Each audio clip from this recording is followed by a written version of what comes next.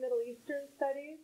And um, we're really proud to welcome Amir Telibećirović from Sarajevo in Bosnia. And Amir has um, experienced a lot and learned a lot about the history, the wonderfully complex and um, interesting history of his country.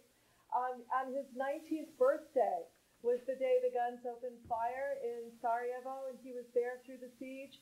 And he has literally written the book on the siege of Sarajevo because he wrote a book called The Siege of Sarajevo, um, which is available in English. It's a booklet that is for tourists. Um, Amir is a journalist. He writes in um, Bosnian for Bosnian publications. He does a lot of freelance work. He writes in English um, for other publications. And if you have any questions on that, you can ask him later. Um, also, he is a tour guide. And he has worked with, um, when Rick Steves tours, how many of you guys know Rick Steves? Okay, right? Um, so when Rick Steves, Steves tours go through the Balkans, Amir is leading uh, many of them. So I'd like to um, you guys to welcome him. And remember, I'm sorry about the mic. We just we tried. okay. Hold on, hold on till the end. I didn't even start it yet. Well, thank you anyway. Okay, so Lisa did quite a lot in introducing me, so I don't need to say much about myself, except that don't bother with my surname. Okay. I believe by now we don't need a microphone, right? Because I'm whispering. Okay. Okay, so Peli Telibećirović is my surname, but really, you don't need to bother with that. Uh, people ask me, how do you pronounce it? That's why I have a simple name, you know. My parents were practical. Uh, more easy to pronounce. So, Sarajevo, Bosnia, uh, in general region of the former Yugoslavia, as you know, or the Balkans, or parts of Southeast Europe, whatever you may call it, yeah, are so complicated that we produce more history than we uh, or even better to say, uh, more than we can stand. Uh, those of you who've been there, maybe you know that. Those of you uh, who try to study that history, know what I'm know what I'm talking about. Um, we can also say, I can say at least, I lived through parts of that history by living through the Bosnia without wanting wanting to. I was hoping to live in a country like Switzerland, but you know they say I'm mentioning Switzerland because they say Bosnia was the Switzerland of the Balkans, and in a way it is when it comes to the mountains and sort of three languages. Only Switzerland has three languages. And boring history, we have um, mountains, sort of three, three languages, but actually three dialects. An exciting history, but tough. And too much for such a small area. Anyway, so the history, as it says on a poster that announced um, my, uh, my lecture, History of the Bosnian Muslim, Muslims uh, Journalist Perspective. So um, it is complex issue, but we can put this these things in a, in a line, in, in certain order. Talking about uh, is not easy to separate. Actually, it's almost impossible to separate the story, history of Bosnian Muslims, the other groups in Bosnia. Uh, you know, so those of you who haven't been to Bosnia, haven't reading uh, much or hearing much about that. When we talk about Bosnian Serbs, we're talking about people in Bosnia who happen to belong to the Eastern Orthodox Church. When we talk about Bosnian Croats, we're talking about Bosnians, people in Bosnia who happen to belong to the Roman Catholic Church. When you talk about Bosnian Muslims who became Muslims thanks to the Turkish Ottoman uh, occupation in the past, technically they're not Turkish people. They are still Bosnians. They just share the same religion and culture as the, uh, uh, well, modern day Turks, let's say, or Ottomans, uh, better to put it that way. Then we also have minorities such as the Sephardic Jewish population, Roma gypsies, etc. But somehow this uh, trio fantasticus, Serbs, Muslims, and Croats are the ones who are making major things in Bosnia. So we're going to go through this uh, brief, complicated and long history. Uh, uh, what's journalist perspective? In my case, I'm talking as out, uh, insider and also as a journalist. Why journalist perspective in this case? Because you all know what happened there in the 90s. Journalists had to become historians historians had to become journalists.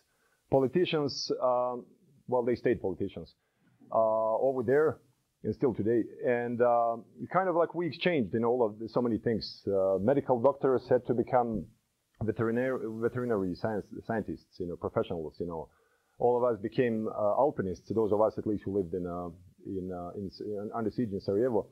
Uh, so it means that we had to start learning, even if you're not interested in that.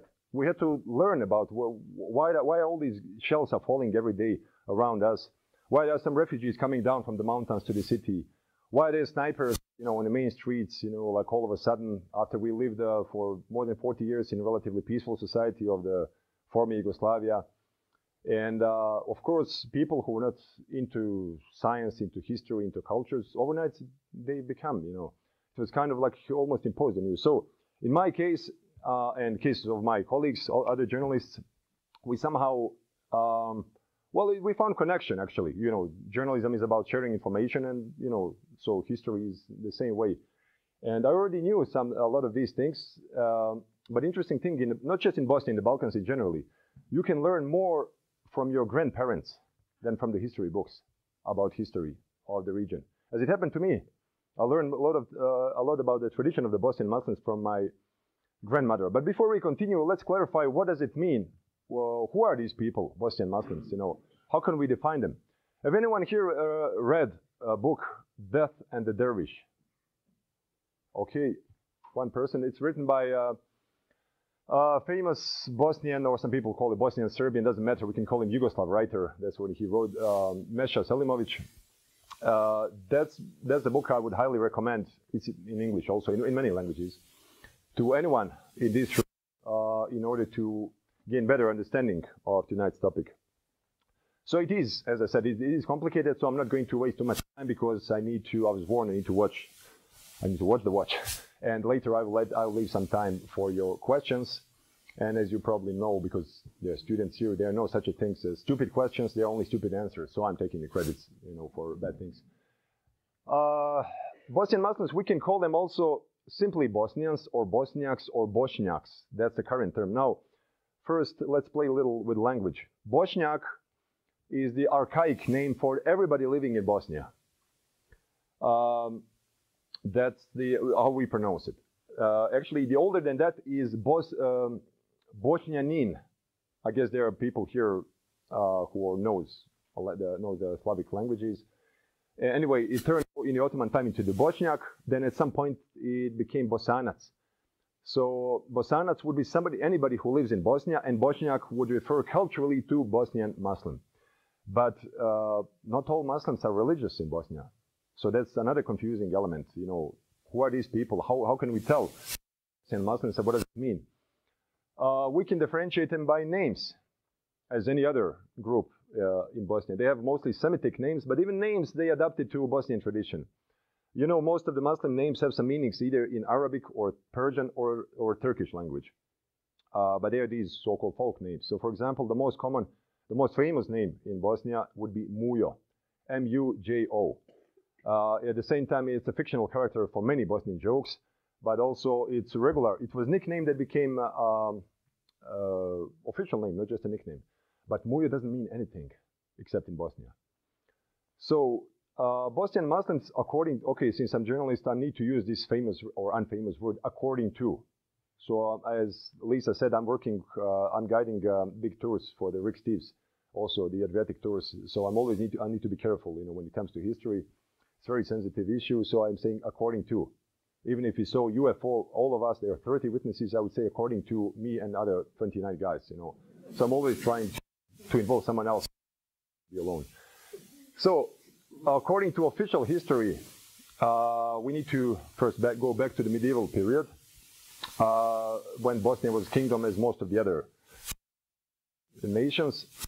And uh, Europe, it was church that was determining way of life either Catholic or Eastern Orthodox, or what used to be known Byzantine, uh, part of the Byzantine Empire. I'm talking about period before the Martin Luther was born, and before the Reformation, and before the Protestant Church, and mostly I'm talking about the Balkans. Then, so oh, Bosnia was complicated even back then. There were three churches.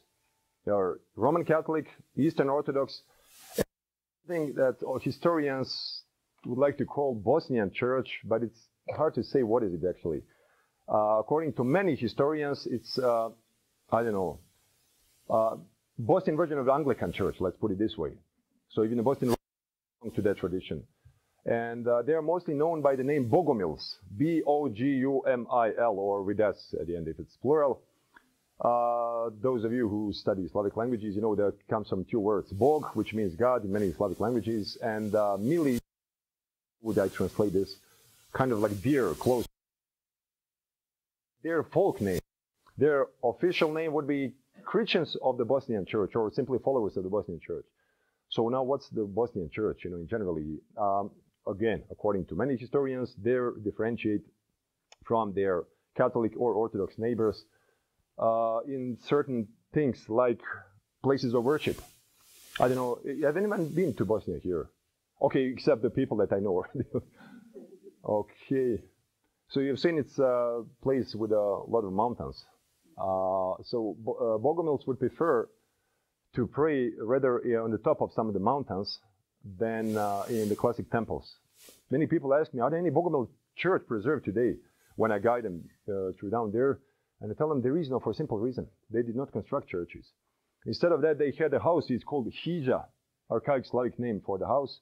Still today in Slovenia, they use the word Hisha uh, for the house. And uh, places where they wanted to feel more equal in between each other, not to have a priest. They, they didn't have a, their own pope, their own patriarch, or something like that. There was a grandpa, literally, did in archaic uh, Slavic languages, kind of leader of one of these particular communities. But the problem was it seemed that Bosnia was the only country where there were majority, again, according to many historic records. Even the Bosnian royal family, uh, since it was monarchy, it was kingdom, belonged to that tradition. And then, as you know, in Europe, you had a problem in fitting like that with such a belief system without recognizing pope or patriarch in Eastern fit into any of these two groups. They felt like a Middle Ages, you know, like and that was the, what was the punk rock today, you know, like it's like uh, to reject leftists to reject uh, right wings, you know, to stay in the middle. And then um, they were from time to time persecuted, either by Catholic or by the Orthodox Church, because we are talking about Europe in um, uh, medieval Europe. You know what was happening there. all look younger, but you all know what. I don't. I don't expect that you would remember what happened, but we like to say, uh, just like we were, we witnessed certain things, and uh, that that makes. Um, question is, how would they survive in such environment? Um, I need to make a little detour now. Uh, southern France, you know the population called the Cathars, C-A-T-H-A-R-S. Uh, many people are trying to, to link uh, Bosnian Bogomils to Cathars in southern France. Why? Because Cathars had similar fate, and they also rejected to recognize Pope as major church authority. They were persecuted.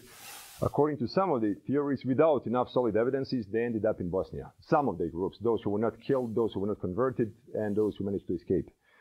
And uh, they're using, uh, sorry, I couldn't get the big one. I had the big one, but they destroyed it in the DC airport uh, when here, because I was first in Seattle before I came here, but that's a complicated story. Uh, less complicated than our history, but doesn't matter. So anyway, I got a small one at least saved. You know, even the, uh, coming here from Bosnia, it was like kind of breaking through the front lines.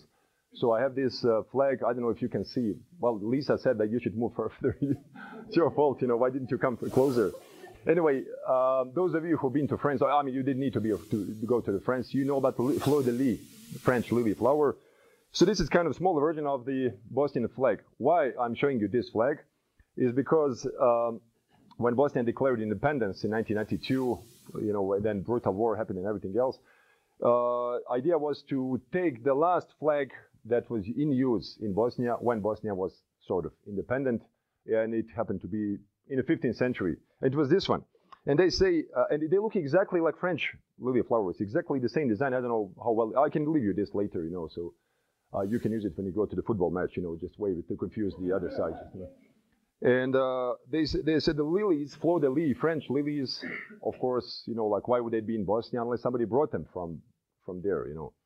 And uh, that's one of the why some historians claim that maybe, just maybe, Cathars from France brought that kind of belief system to Bosnia. Okay, so there are no churches of Bogomils, but there are uh, there are still physical evidences. There are some written documents, not many, but some of them are saved, and there are unique tombstones, unique in the Balkans. I don't know if some of you have been to Armenia. You've seen the Khachkars. They're famous uh, ancient tombstones with a specific engraved, you know, like unique pictures and so on. But anyway, they still couldn't survive with their tradition. And then Ottoman Empire is coming in the 15th century, taking Bosnia. And as those of you from Middle Eastern studies probably know, the uh, Ottoman Empire tolerated, it was, of course, Islam was the central uh, state religion of the empire. They tolerated Christian minority as long as they were loyal, they were not rioting, and they were regular taxpayers. So in many countries they invaded before that, they found one or another dominant church. Only in Bosnia they found three. So they already had a deal with the Eastern Orthodox Church. Uh, they made some temporary deal with the Catholic Church, although they were not in good relations with the Western powers at that time. But Catholics in Bosnia were led by the Franciscan Church. Main bishops and uh, cardinals escaped. They left their own congregation, so people turned more to Franciscans. They were the last uh, order in Bosnia who maintained the Catholicism there. And then Bogomils, according to many historians, converted, embraced technically Islam in vast numbers for several reasons. Lower class, uh, sorry, lower class, I mean working class, let's call them proletarians of the Middle Ages, uh, they saw a common point uh, because it was the Sufi predominantly philosophy that came uh, with the Ottomans to Bosnia. They saw common points uh, in, the, in dogma. They decided to embrace Islam because of their treatment of Jesus. Bogomils also believed that Jesus was not crucified like many Muslims believe, but they uh, they believed he was uh, yeah they also believed he was Messiah, you know, very similar to the Muslim concept. Then uh, they um, they were kind of non-materialistic, similar as, as Sufis. Then what else? Oh yeah, the middle class Bogomils, uh, landlo- landlords, uh, they wanted to keep their property. So for economic reasons, they converted too. They got new name, Semitic name, uh, not anymore Slavic, but they kept the Bosnian language and they kept the same property. Only they were not called Graf, Grof, I mean, uh, as a Germanic term, or Baron or Duke, you know, typical titles like in the West, but they got the names Bey, Pasha, Aga, typical for the Muslim aristocracy in the East. And the top uh, class of the Bogomils, well, also for political reasons, not just spiritual, they converted. And technically, that's how Bosnian Muslims became Muslims approximately five centuries ago. Although some members of the Orthodox Church, Serb Orthodox Church, and Catholic Church too converted for all kinds of reasons, not just economy. But in the end, it turned out it was a little bit about money. Turkish uh, Sultan Mehmed Fatih II, the conqueror of the time, the one who was in charge when Bosnia was conquered, he uh, didn't have interest in converting everybody to Islam also, not only because there is no compulsion in religion according to Quranic, uh, but also uh, for economic reasons. If everybody would, would, would, convert, he would lose certain income from the taxes minorities were paying. So the choice was, if you convert voluntarily to Islam, some taxes, but you would have to go to the army to serve the Ottoman religion, and you're not right you were free from serving the army, uh, but you had to pay certain taxes. So anyway, uh, Bosnian Muslims, they became kind of new elite uh, in Bosnia uh, for the incoming centuries. But they still maintained the Bosnian language. Recently, I discovered the oldest uh, uh, dictionary, Bosnian language dictionary, back in Sarajevo, that um, that is the, the, the uh, published in the early 17th century, so when it was century and a half since Bosnia was under Ottomans. And interestingly, today many Bosnian Muslims of today are using Semitic words for uh, for everyday life. They say janaza, uh, which is I think in um, I'm not sure in Turkish or in Arabic, janaza would be funeral. Uh, but if it's not Muslim, they say sahrana or sprovod, which is a Slavic name uh, for the funeral. Uh, and then I saw in Turkish, uh, written by one guy from Tuzla city, north, northeast Bosnia, all the words were Slavic there back then. Bosnian Muslims were preserving Slavic words, Slavic languages. They were still loyal to their Slavic background, uh, even after they converted. For example, they wouldn't use the word melek, which is Arabic for angel. They would use just the old Slavic word angel, it, uh, according to this dictionary. Anyway, so not to bother you with these details. But there was those, there were those who were in doubt because there was a new civilization when Ottomans came there. You know, they were in Shakespearean, you know, dilemma. You know, like to circumcise or not to circumcise. What to do now? You know, because there was completely new tradition. You know, that came there. It was well, uh, painful a little bit, but uh, but yeah, they had to adopt in a way. You know, so. Uh, Shakespearean. Sometimes we really feel like Shakespeare was born in the Balkans, uh, not only because of that. Anyway, so they somehow adopted they found a way to become good Muslims, but also to save some of their, uh, you know, pre-Ottoman traditions, and not only through the language. So centuries have been, uh, centuries passed. And then we are getting slowly, uh, you know, Ottoman Empire was getting weaker and weaker, especially in the 19th century, it declined. And then Bosnian Muslims uh, had a new uh, ruler. This time it was Habsburg's monarchy. After Berlin Congress, 1875, many uh, Bosnian Muslims turned against Turkish Sultan because they felt like uh, Bosnia to uh, Austrians, but actually it was a matter of negotiations. Uh, you all know about the Dayton Peace Accord, Dayton Peace Agreement probably, uh, that ended the war in Bosnia in 1995 in the Bill Clinton's administration time, while Berlin Congress was some sort of something similar. So anyway, it was given to the Austrian-Hungarian Empire, then they came, and then after more than four centuries of the uh, Ottomans ruling the country, they're wondering, okay, now what? You know, like now instead of fez, cap, typical, or turban, they had to wear cylinders. And they had a lot of meetings, you know, like ulama, the, um, the scholars, of the Bosnian Muslim community had a meeting. What to do now? Can we uh, accept to be ruled by the uh, Western ruler, in this case, Austrian Kaiser Franz Joseph, or shall we migrate somewhere? And what happened? Uh, many of them uh, moved. They left Bosnia. They were afraid they are going to be converted to Catholic Church or, or uh, to Catholicism or who knows what. So people are spreading rumors, you know, in such situations, you know, when they when you're completely losing one way of life and getting another one, uh, I don't know if they felt like Native Americans in a way, you know, like what to do now, the way to go, that, should we stay, how is going to be under the new ruler, you know. So, so, many of them left. We don't know exact numbers. I've read so many different uh, calculations about it. Uh, many of them left to Turkey or to Macedonia, which was still under the Ottomans in that period, late 19th century. But those who stayed, yeah, yeah, Ulama was divided. They were encouraging people, some people to leave, and at the same time, uh, there was those who, who, who, were encouraging them to stay because said if you're going to leave, especially beys and pashas, the elite, the Muslim aristocracy over there, they say you're going to lose your property. It's going to be taken away from you. So, uh, and those who stayed, they rebelled. They were, they was resistant. They resisted the uh, Austrian occupation uh, when Austrians came, especially 1878. And uh, but it was uh, the resistance were crushed easily by the Austrian army. And yeah, Many of them uh, were hanged, public leaders of that resistance, and they still were leaving Bosnia, not so much as in the beginning, after when Austrians came. But then Austrians thought like, okay, we don't want to lose these people. So Franz Josef, the Austrian king, wanted to encourage them to stay there. Uh, leaders of Serbia and Croatia at the time were hoping that Austrians will erase Bosnian elite, beys, pashas, agas. So what happened actually, uh, Austrians recognized them and they allow them to stay and to keep their titles.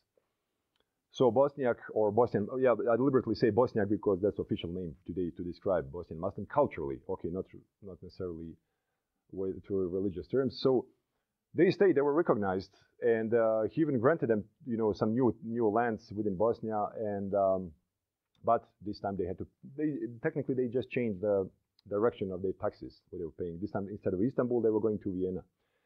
Spiritually, uh, they made them, Austrians made them independent. Uh, uh, they made independent Bosnian um, religious leadership. So they established the institute called Reis ul Ulema. Ulama, of course, from the Arabic word for the scholars, and Reis, uh, something like, I roughly translated the first one anyway. So it was independent. Um, as you know, there is no institution, religious institution in Islam. There is no something like Muslim Pope or stuff like that. But Austrians wanted to make sure they are not going to be linked to Istanbul anymore. So they said, we'll give you everything, just stay in Bosnia and be loyal to Vienna. So they established, uh, yeah, they, their own uh, ulama, and that's how even today we have Bosnian um, uh, and uh, which is the name of like kind of sort of council for the Bosnian Muslim scholars. But so it was kind of secular and religious at the same time. So anyway, so the life continued. Uh, Bosnia was all this time in under Ottomans in the medieval period, and now under Austrians was a multicultural society. So uh, 19th century was also a period when nationalities all over Europe were being defined. So when it became clear what is French, what does it be to be Italian, to be German, proud Italian, proud Spanish, and so on. Balkan populations, micronations in the Balkans, better to say, were late after that. So uh, through the influence of the Serbian Orthodox Church, um, vast majority of the uh, members of the Eastern Orthodox Church in Bosnia started to call themselves Serbs or Bosnian Serbs. As a reaction to that, uh, Catholics in Bosnia, also encouraged from Zagreb, from Croatia, from the West, started calling themselves Croats or Bosnian Croats.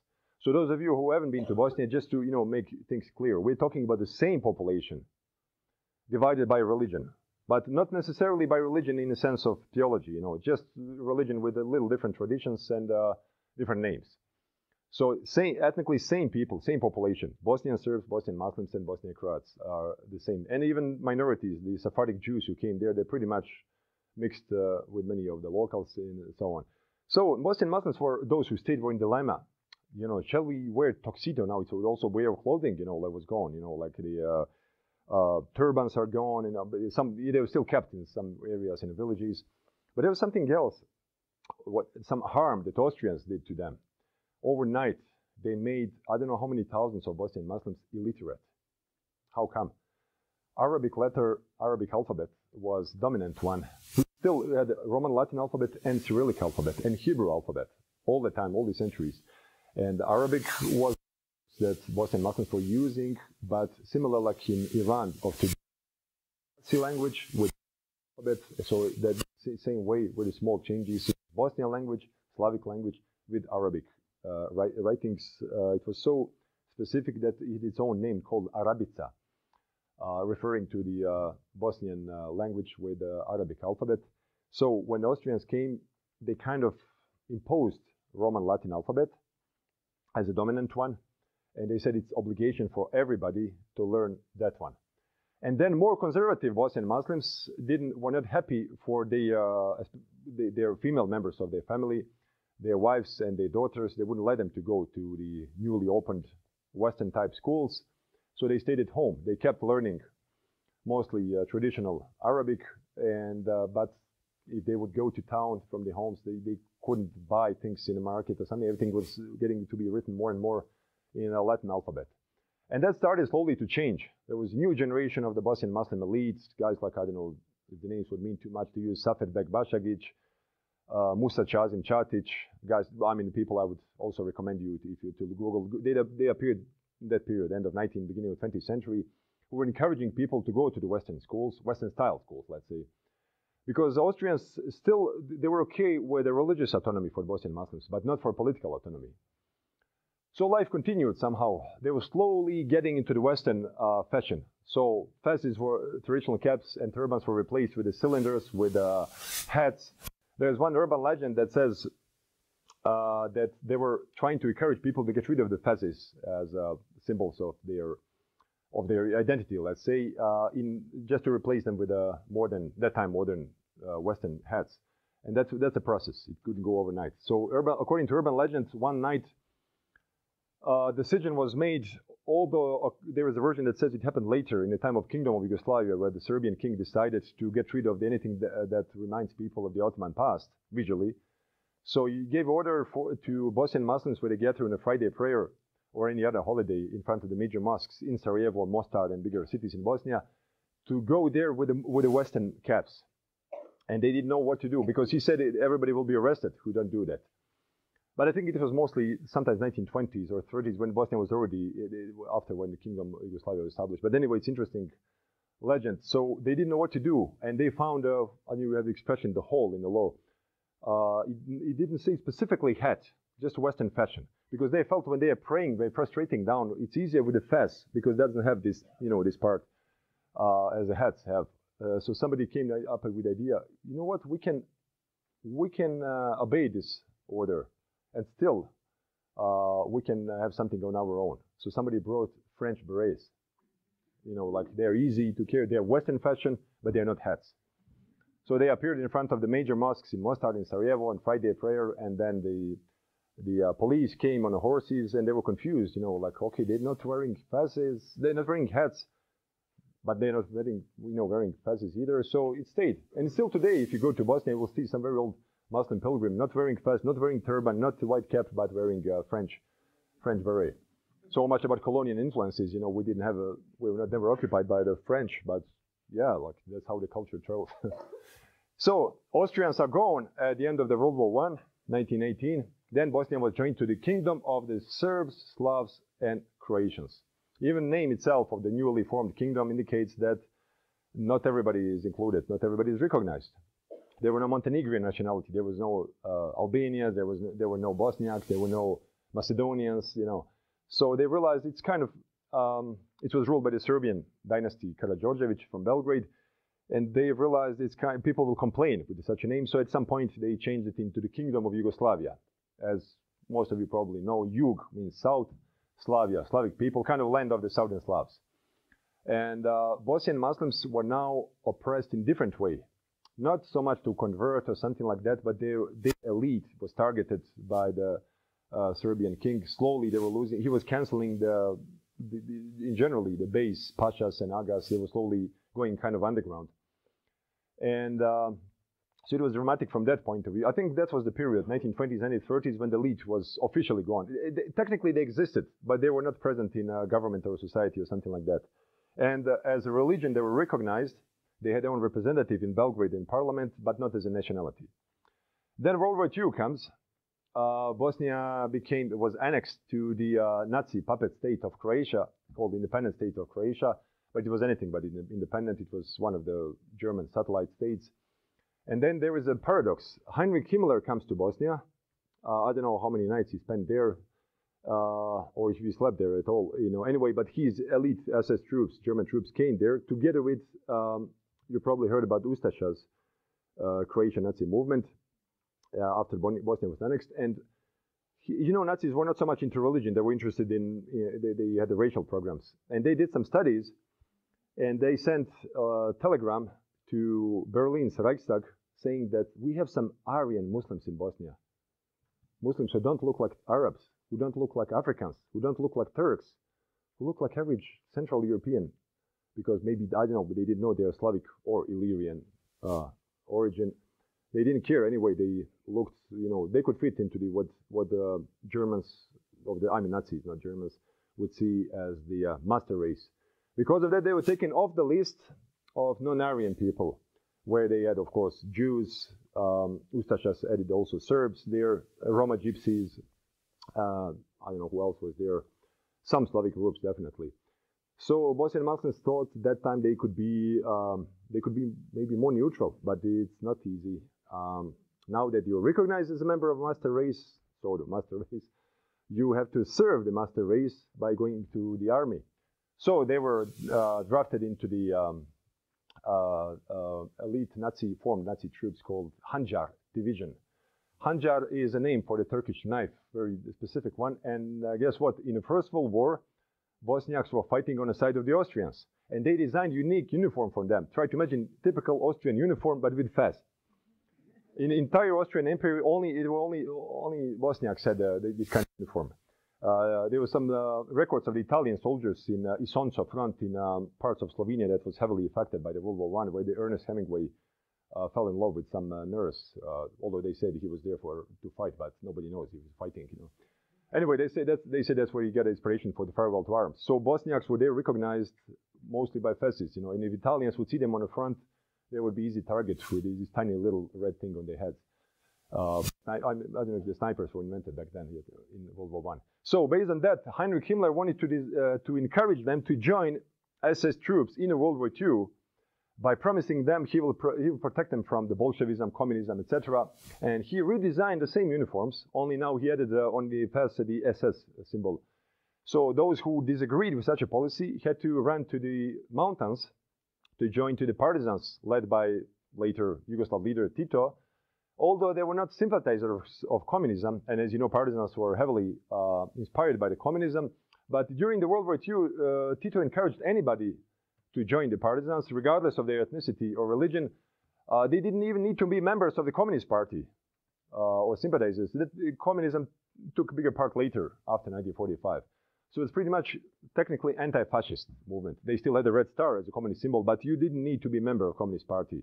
Maybe you'll hear some anti-communist propaganda when they say everybody had to be. No, it's not true. There are many people who were religious, who were traditional, who were not fans of the communism, but they saw it as only anti-fascist force in the field from 1941 to 1945. And um, Lisa mentioned my birthday, cursed one, April 6th, 1941. April 6 was the year when the World War II, you know, started in Poland with the German invasion of Poland, but it's expanded to the, that time Kingdom of Yugoslavia in 1941 when German airplanes bombed Belgrade, Sarajevo, and few more cities, same date, April 6, 1941. Then Sarajevo was held by the Croatian Ustašas and Germans for four years.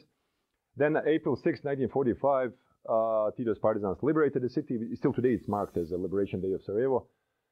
And then April 6th, I'll come soon to that, 1992, my 19th birthday, the siege of Sarajevo in the last war. April 6th in Belgrade, 1999, because of the war in Kosovo, NATO aviation bombed Serbia and Montenegro. They studied earlier, but they bombed Yugoslav army barracks. Guess what? When? April 6th. United States is not only in the Balkans. United States got involved in the First World War, April 6, 1917. Genocide in Rwanda started April 6, 1994. So now I celebrate my birthday carefully. Anyway, uh, so World War II was over. Uh, Tito was a winner. Whoever happened to be on his side, you know, is a winner. Uh, whoever happened to be members of Chetniks, you probably know the uh, Serbian, let's say, equivalent to Croatian Ustašas, was in trouble, uh, who was in Ustašas, and any of these collaborationist troops, you know, was either expelled or arrested by the newly formed communist police. And the new country was called Federal, uh, Socialist Federal Country of Yugoslavia, almost like a lesser European Union, made of six republics. There was one currency, Yugoslav dinar, um, and um, just so just let me check how we good with the time for your questions. Okay, um, because you know, soon we'll get to the um, to the major part uh, that yeah makes that makes the made Bosnian Muslims to become part of the CNN news. Uh, so now Bosnian Muslims were culturally recognized in newly socialist and communist society as a country, as a republic was recognized as one of the six republics. But Bosnian Muslims, there was not something like Bosnian nationality. Inside of Bosnia, you still had to be either Serb or Croat or how shall I put it, uh, un- indecisive, something like that. That was option given to the Bosnian Muslims. They could call themselves either Serbs with a Muslim background, or Croats with a Muslim background, or um, sustained. It was uh, almost like in a parliament, similar to this one, yeah, something like that.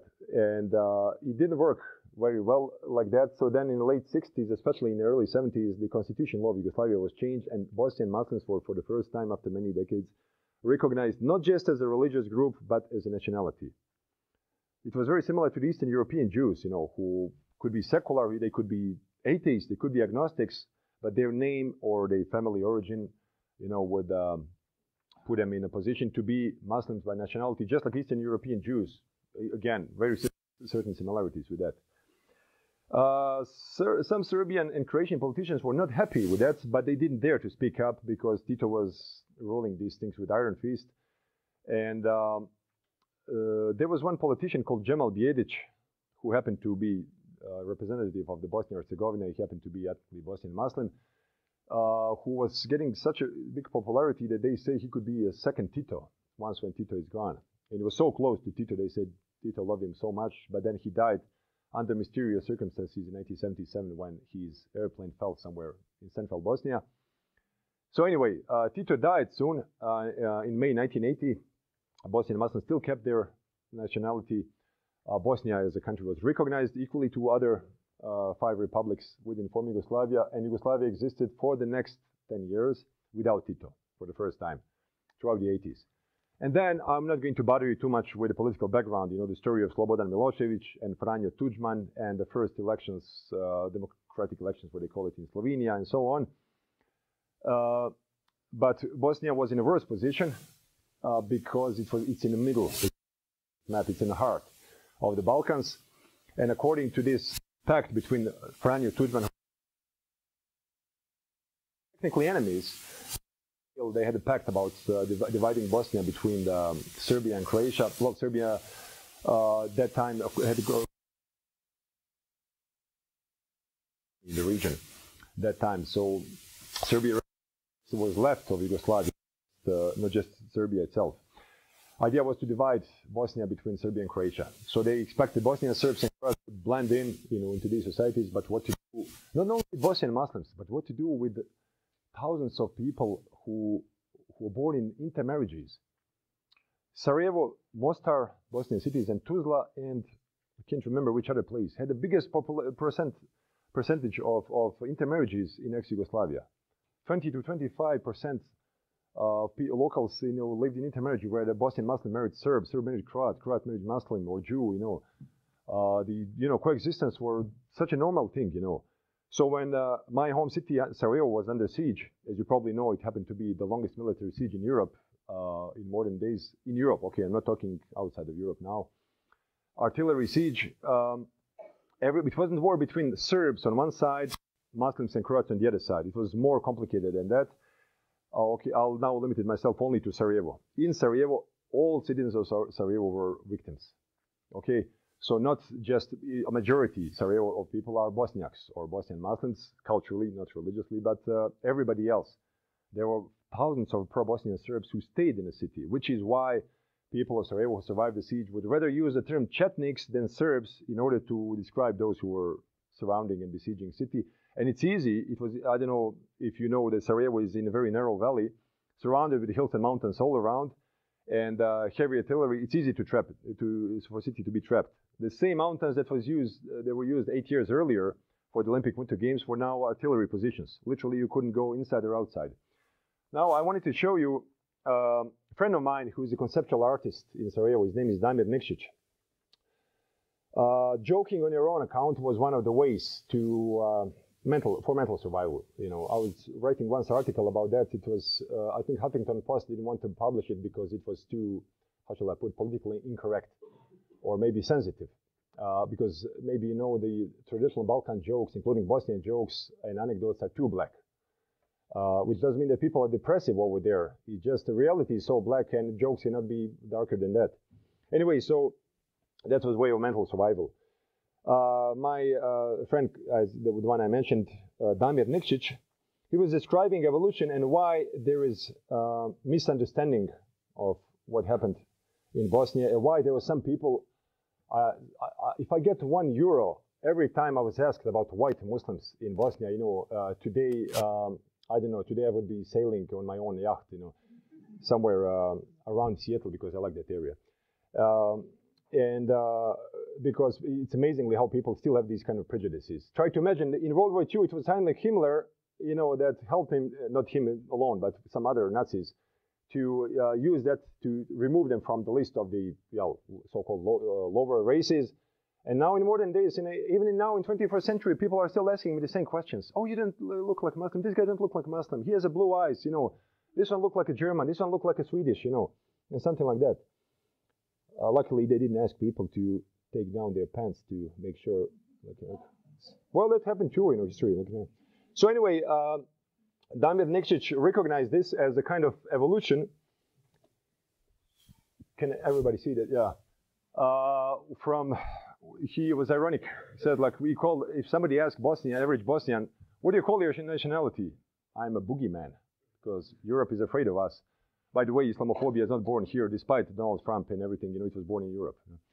And uh, and uh, okay, so Bosnia happened to be in the epicenter of that. So that's him and he made this kind of joke. So anti-anti, anti. So okay, it's like should be like Che Guevara, of course, with the horns as a devil representing the evil communists, and that's the evolution from from the red into the green.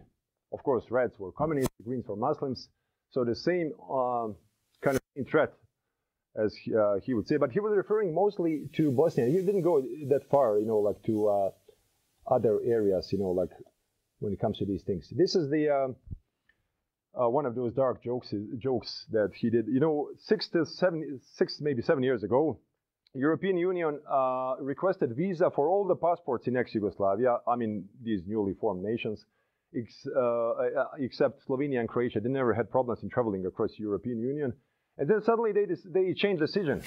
Now the people with Serbian passport, with Macedonian and Montenegrin passport could travel, but still not people with Bosnian passport.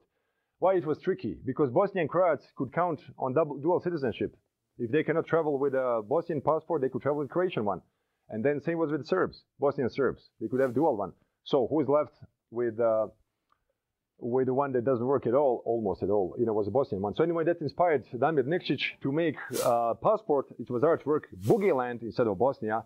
The nationality Boogieman, uh, country Boogie Land. And this is the place for picture for photo. You know. Of course, you know, you know maybe better than me what does this refers to. You know, um, treatment of the uh, European colonial. Uh, the, this is the copy of that report. Deliberately, because sometimes you know European travelers sees uh, they, they see they like to see Mostar and Sarajevo as some kind of exotic places in the heart of Europe. They don't need to go to all the way to the Middle East or Africa to eat kebab. They can just fly two hours from Vienna, you know, two hours from Paris. I don't know something like that from London to Sarajevo. They can smoke hookah over there, you know, without without leaving Europe. And then yeah, this was also Damir's artwork. So Karl Marx, from socialist, he turned into Muslim. So technically, he wanted to show evolution of these uh, prejudices. That was his artwork. Uh, okay, that's this one. Be so okay. This one is more serious. You know who these these two guys are. So they used to be, before they were arrested a few years ago, the most wanted war criminals because of the genocide in Bosnia. You all know probably about Srebrenica, you, not only siege of Sarajevo, but many other areas where the horrible things happened from 92 till 96. And uh, so Ratko Mladic, uh, general of the Serb army in Bosnia and the political leader, Radovan Karadzic, uh, international troops in Bosnia, according to Dayton Peace Accord, which we ironically called Dayton Disagreement, uh, signed in Dayton, Ohio. That's why it was called under Bill Clinton's administration uh, because it's very complicated. What a surprise, yeah, like for such a country. The Dayton Peace Accord, according to that, international troops made of NATO and UN troops should stay in Bosnia, and they were supposed to, not local police, they were supposed to find these two most wanted guys and send them to tribunal in uh, Hague, in, uh, in uh, Holland, for trial. They were there, there, there now, but before they were hidden for years. So that, this is Damir Nikšić, and he says, of course they are wanted, but there is somebody who is unwanted in Europe. So as it says here, I don't know if you can see, like it's not about those who are wanted, but about those who are unwanted. Okay, this is um, passive existence. No, I, I mentioned this uh, painful aspect of uh, being Muslim or Jew, for the same matter, uh, with circumcision. Uh, the the, the um, National Geographic had some kind of racial, um, I know some racial articles in early 20th century. There, it was still period of eugenics, you know, like they were openly talking about it, about some.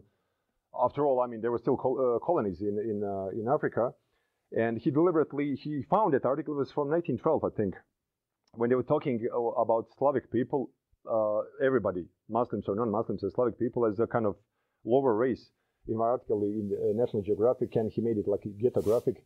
Of course, they would like to see monkeys, you know, like eating bananas, but not to be circumcised banana. Okay, this is the in that boogie uh, boogeyman passport. I don't know if you can see. So I support the idea of the solution of the Dayton Bosnia in favor of establishing the great pseudo-Moorish caliphate as the EU theme park, also known as the Boogie Land Reservation. And that's how we felt when we needed visa to travel in Europe. When everybody around us could do that, we couldn't. But foreigners were coming to Bosnia, and they still do. And they're, as I said, like enjoying. It was like the theme park, you know, just like Jurassic Park, only yeah, like for well, different kind of species, yeah, over there. And of course, yeah, tiny little caliphate. Nothing about these uh, guys and um, new caliph uh, in uh, these, what, what, these guys, um, ISIS, MISIS, whatever they call themselves. And uh, even today, the, uh, the, people ask me, but these guys, ISIS, you know, they call themselves new caliph, new, they establish new caliphate. Well, as far as I know, the Caligula, uh, it, wasn't him. He declared his horse to be senator, right? So doesn't make his horse a senator. So these guys, they can call themselves, you know, like uh, new caliph, new Muslims. Does it does it make them Muslims? You know, these ISIS, Taliban, or whatever, there are so many of them. They, oh yeah, that's another thing. Yeah yeah, yeah, more uh, more quickly than the members of Ku Klux Klan as the Christians. So Balkan X. Okay, everybody knows about Malcolm X. South supremacy, or I don't need to explain you this one. This one is more more American type joke, which makes sense actually in a way. It's not just a joke because you know the uh, this movement, Nation of Islam, Islam, no, yes, Nation of Islam, back in the 60s. Technically, they call themselves like that, but in Bosnia, it already existed. Muslim by nationality. And this was the front page of the, the great pseudo-Moorish Caliphate. Ah, this is the, um, okay, the Native American uh, dream catcher, but with um, a rosette that is so typical for the mosques and madrasas. and uh, arabesques, you know, like, and he just want to point out the artistic aspect of everything, just like the declaration Shahada, um, Islamic declaration. There is no God but God, uh, God but God, and I, prof- uh, I profess it. Or in Arabic, La ilaha illallah, Muhammadur Rasulullah, as you probably know it, and only just put it the art. There is no art but art. So because he was, he got a lot of criticism for his art, and that is why he wanted to remind people that what he, what's he doing? It's with a message, but it's still art. Now, you know the story of Santa Claus, of course. Uh, can he be a Muslim? Can Muslim kids? That was another dilemma that Bosnian Muslims had in um, in socialist times of Yugoslavia. What about our kids? But Tito was very clever, and communists were very clever when it comes to that. They didn't call him Santa Claus. They didn't call him, call him Saint Nicholas. It was um, what would you call the what would you call Deda Mraz in uh, Papa Frost? Okay, in uh, English. So that's something like we had generations had it in the. Uh, so that way he wouldn't have a religious character, and all kids could go to him, you know, without uh, being afraid of losing their own identity. And I don't know who took this picture where, but it's obviously that you know, Papa Frost may be converted in the meantime. Yeah, that's, uh, of course we can, referring to uh, a famous uh, Obama speech. Uh, Damir Nikšić, Caravan of Dreams, uh, he issued a whole booklet uh, about rules, uh, how to behave as a Bosnian Muslim. And behind him, he that time he lived in, in Stockholm, in Sweden. He designed this flag. he says like Euro Muslims can be by nationality Euro Muslims. Like, for example, we have Democratic Christians as a political party in Germany, or uh, uh, many European nations have the cross in, the, in, the, on the, in their flag. Turkey, of course, has the red one, but he referred to the blue one and yellow, which, which is in a Swedish flag, but also, uh, you know, Bosnian flag, you know, with the lilies, it's uh, blue and yellow. And uh, only to design crescent, but with European Union symbol. Caravan of Dreams. sometimes it's hard to understand this guy, but he is hilarious. Okay, we've seen the the rest of this. And uh, uh, during the siege of Sarajevo, we were also sometimes hoping because mortar shells were hitting particularly minarets in the old town of Sarajevo. And you, United Nations was selling us humanitarian food. And among the other things, there were sneakers, Nike sneakers. Why would, in the middle of the war zone, somebody send a Nike sneakers? I mean, we, we had nothing against it, especially me with my size of shoes. I had problems with finding new ones. You know, if I could get from UN, it's fine. But later, CNN and others were filming it you know, like, so there was some marketing in all of that. As I don't know who said that, that the future wars are not going to be fought, fought between nations or religions, but be, for example, it will be uh, Nike, Nike, versus Google, Google versus uh, British Petroleum, uh, British Petroleum versus, I don't know, you name it, General Motors. You know? And uh, I, I, think it's already going like that, but that's another story. So um, uh, the war was over in 96 officially, but there is some emptiness left down there in the Balkans. Bosnian Muslims uh, survived the genocide, which wasn't only in Srebrenica. It happened even in Srebrenica was only the worst uh, massacre. But the, sometimes bigger problem starts now.